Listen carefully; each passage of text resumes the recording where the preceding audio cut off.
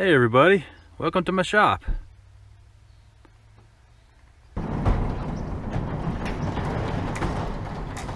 Come on in. Hey everybody, it's Tom here. Welcome back to the shop. Hope everybody's having a good new year.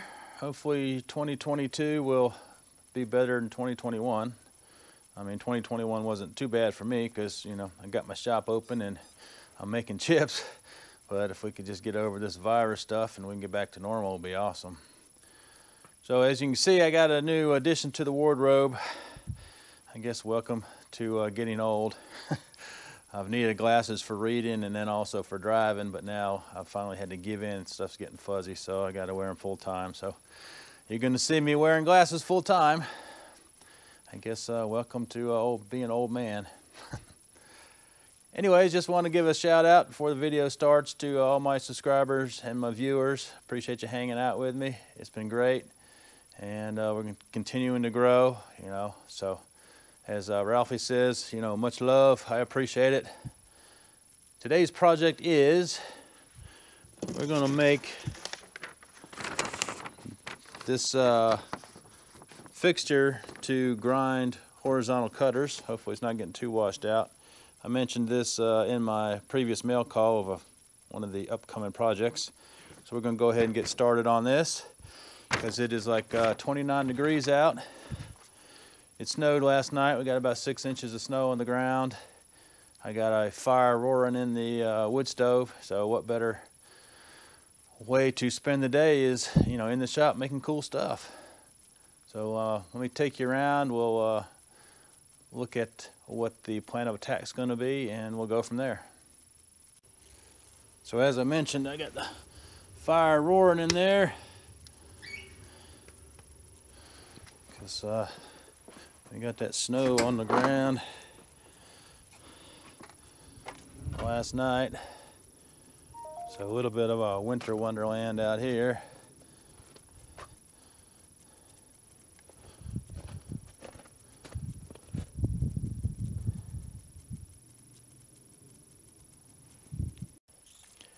Well, you're looking at the materials I've gathered up. So I think what I'm going to do, I'm going to make this fixture out of aluminum. I don't know if the original one was probably steel, but uh, I've got plenty of aluminum and I don't see a reason why we can't make it out of, out of aluminum because you know there's not hardly any forces on it. I mean all we're doing is we're just dusting off a you know a cutting edge, cleaning it up. So that's what we're going to make it out of. I've got um, this big piece here, which is about uh, a little over three inches, uh, inch thick. So that'll be fine. We can, you know, cut this up. I can make the base, and I can um, also make this column. Got this piece of uh, one inch. Oh yeah, both of these are 70, 75. So we can make the shaft out of there to hold the cutters, because this is a uh, one inch bore for all my cutters. And they just slip on just nicely so I don't have to turn anything down. And I think you know this would be fine if we were or if I was you know sharpening cutters all day long day in and day out then I'd probably want to make the shaft out of steel just so it wouldn't, wouldn't gall or scratch or you know eventually get worn down and not hold a tolerance. But for the occasional sharpening I'll do. I think that's fine and I got another piece here. We can use this to make the uh, fixture here to hold the finger. And we've got some strapping here so we can make that finger out of the strapping. And of course the only problem is you can't mag down aluminum obviously. So I've got this piece of plate, just uh, probably hot rolled A36 so what we can do is we can just put that on the bottom of the base so that we'll be uh, able to clamp down. And I think uh, that's going to be the plan of attack. Obviously we got some milling, a little bit of drilling, a few holes to tap. Uh, probably turn this on the lathe. So be a good uh, mix of stuff. Let me get over to the uh, bandsaw, cut the stuff down to uh, pretty much a rough dimension, and you guys can uh, meet me over at the mill.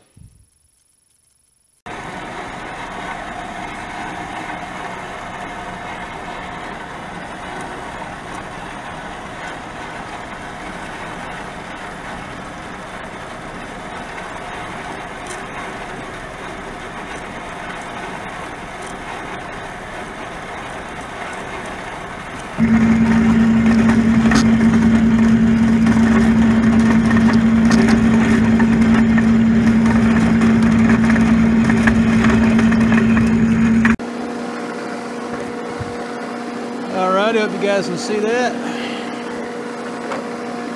Doing some fly cutting, squaring this stuff up. This is uh, 15 thousandths depth of cut. And I'm using an aluminum cutting insert. CNMG 432. I'm using these babies right here. Corlos, hope we can see that. Don't want to get in the way of the fly cutter. Seems to be working real well, even a nice mirror finish, if the camera's picking it up or not.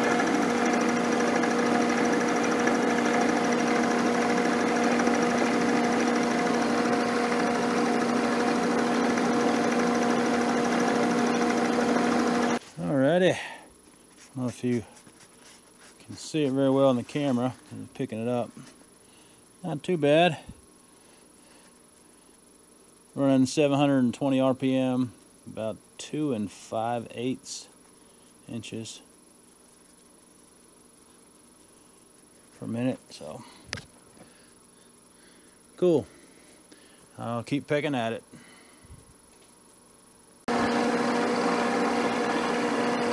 I increased the RPM to uh, 1020, same feed rate. See what kind of surface finish we can get. This is just a 10 thou cleanup pass. The surface finish looking pretty good.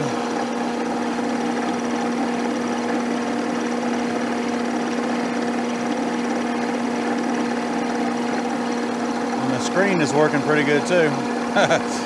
keeping the chips down.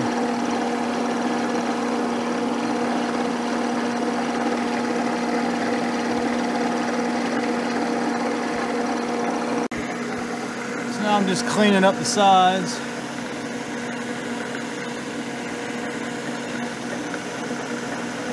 See if I can get a little better finish with a uh, mill in there.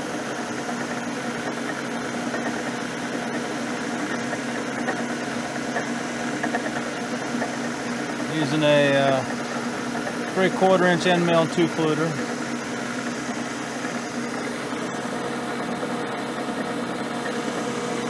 Looks good, but still a little bit rough.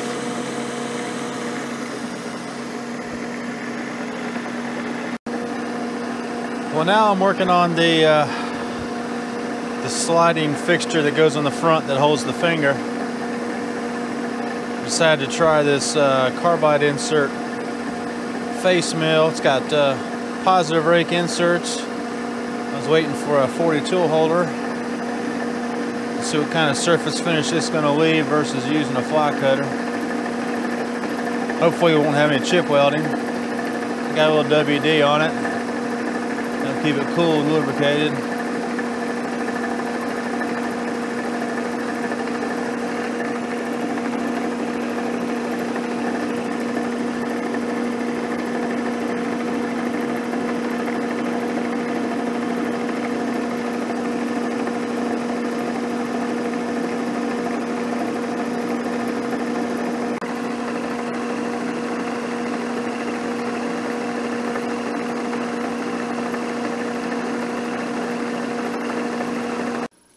Well, hopefully you guys can see that. Get a little extra light in there. Feels pretty smooth. Surface finish isn't bad.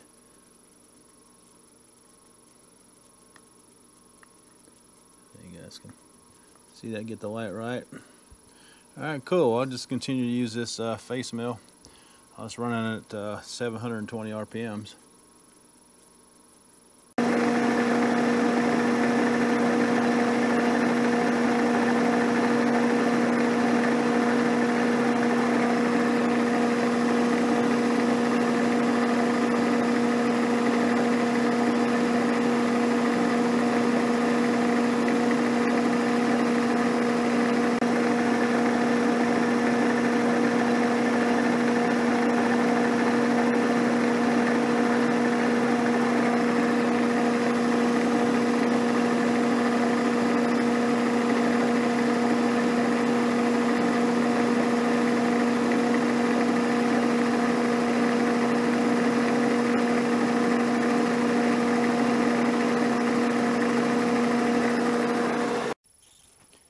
It's the next day.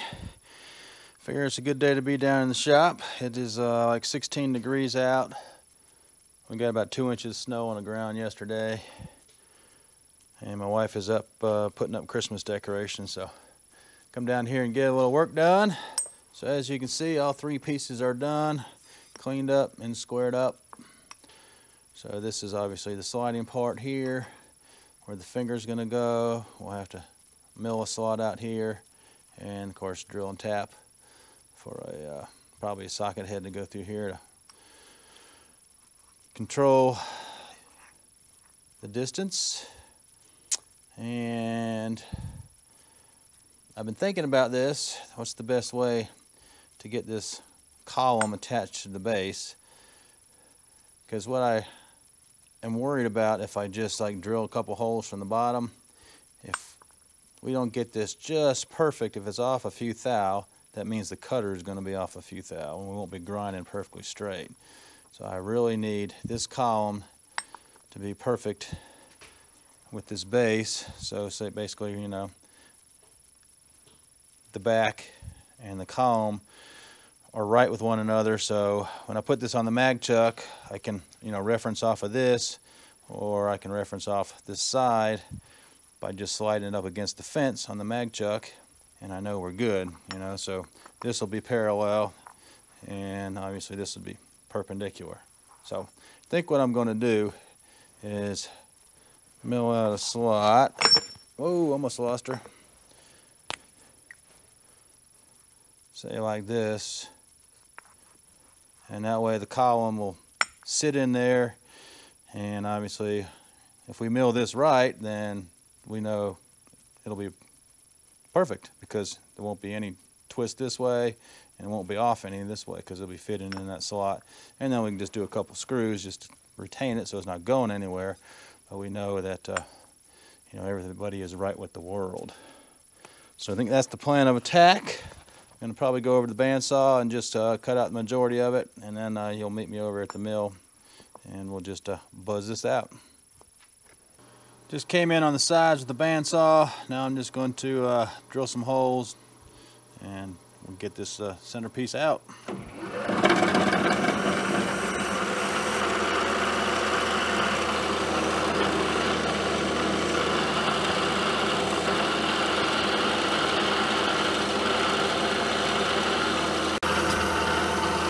So I am just chewing out the center. This is my uh, final depth.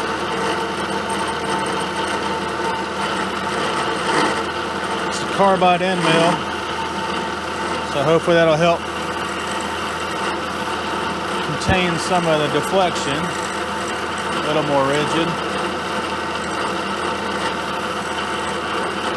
It's about uh, 50 thou depth of cut right now.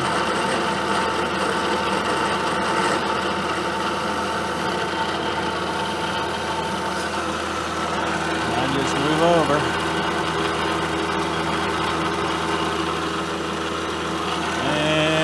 Rinse and repeat.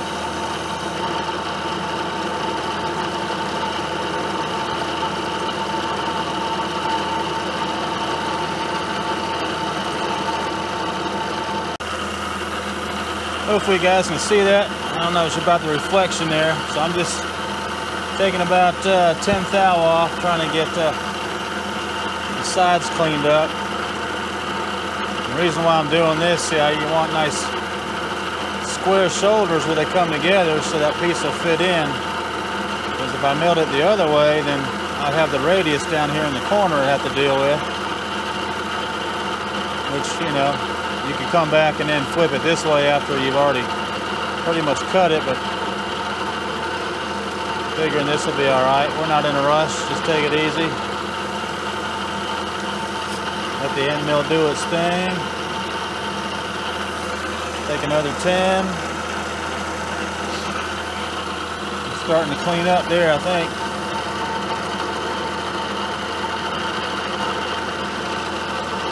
We'll use this as a zero and then we'll move over the distance we need.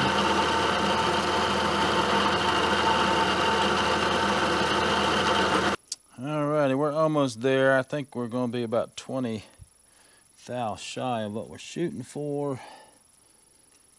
Let's uh, let's see if we're we're about there. Try to do this with you guys watching.